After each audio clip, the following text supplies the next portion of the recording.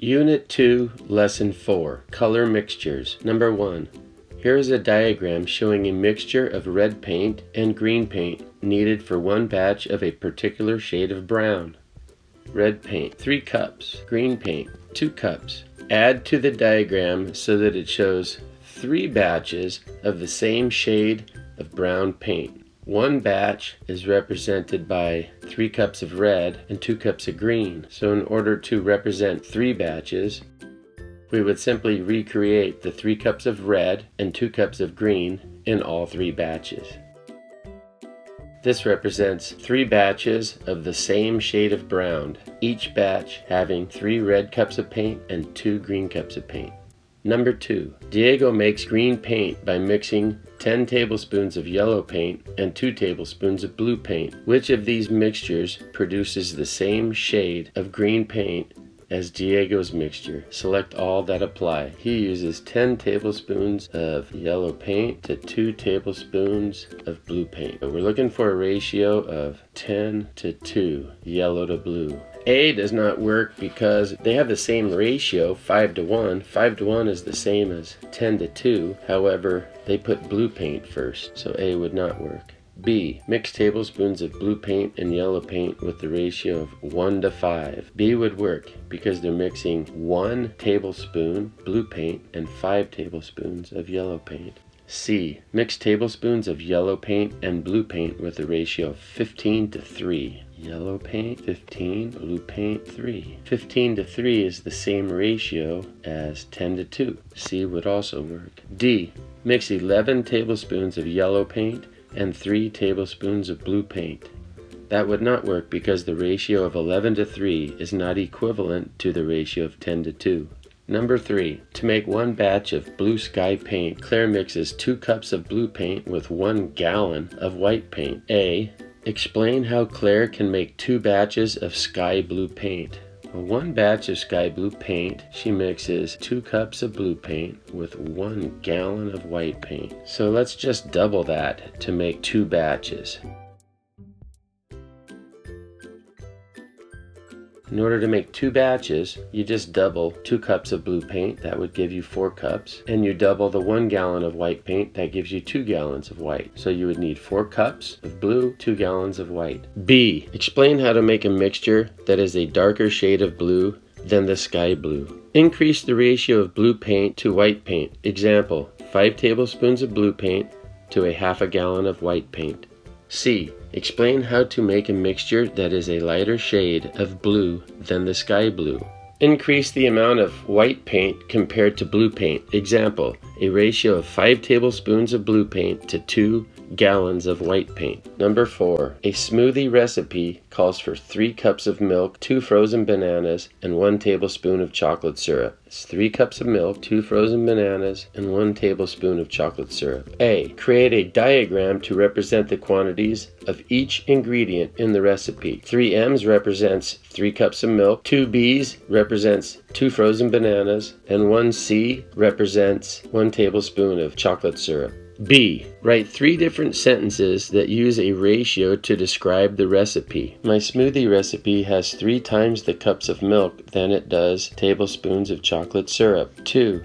My smoothie recipe has two times the amount of frozen bananas than it does tablespoons of chocolate syrup. 3. The ratio of milk to frozen bananas to tablespoons of chocolate syrup is 3 cups of milk to 2 frozen bananas to 1 tablespoon of chocolate syrup. Number 5. Write the missing number under each tick mark on the number line. So we're going to look for each tick mark. Here's a tick mark with a missing number. Here's a tick mark with a missing number. Here's a tick mark with a missing number. And here's a tick mark with a missing number. From the 0 to the 6 represents 6. And this looks like it's about halfway to the 6. So what's halfway to the 6? 3. So 0 plus 3 is 3. 3 plus 3 is 6. 6 plus 3 is, is 12. 12 plus 3 is 15. 15 plus 3 is 18. Let me fill this one in. 3 plus 3 is 6. So we have 0 plus 3 is 3. 3 plus 3 is 6. 6 plus 3 is 9. 9 plus 3 is 12. 12 plus 3 is 15. 15 plus 3 is 18. So we have all our tick marks filled in. Number 6. Find the area of the parallelogram. Show your reasoning.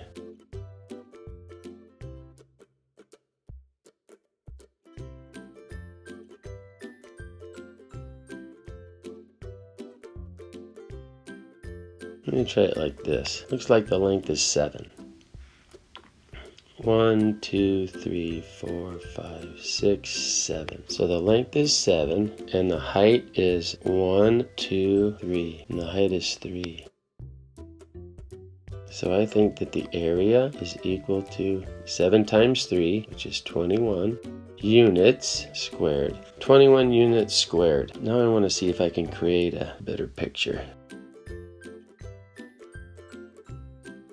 I want to take this one and place it right inside there. So now we have something that is one, two, three units tall times one, two, three, four, five, five units long. So the area of this one would be one, two, three, four, five, six, seven, eight, nine, ten, eleven, twelve, thirteen, fourteen, fifteen. Three times five is 15. So we have 15 square units represented here. We need to now deal with this section here that's left over. So let's take this piece and move it and put it here. Now we have something that's 1, 2. So we have 2 by 1, 2, 3, 4, 5, 6. So 2 by 3 was 6. So if we were to add 15 and 6, we would get 21 square units. So I showed you two different ways to find the area of that parallelogram. And both ways showed that the area of the parallelogram was 21 units squared, or 21 square units. Number 7. 11 times 1 fourth equals 11 fourths.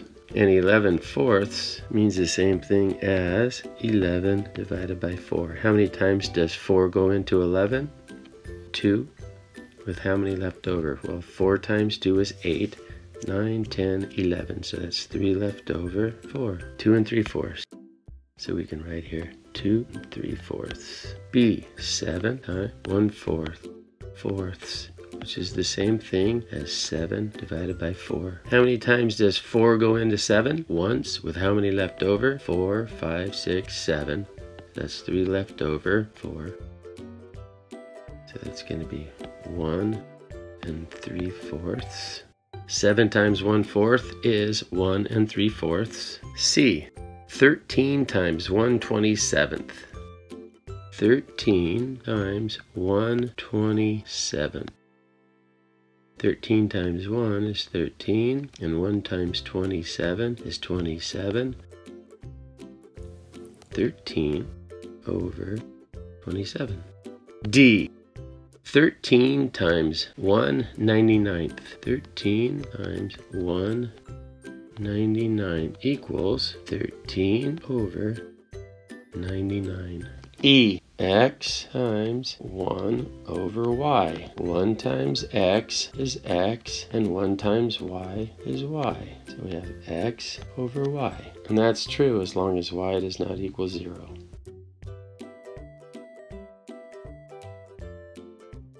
Well, there you've completed Unit 2, Lesson 4, Color Mixtures.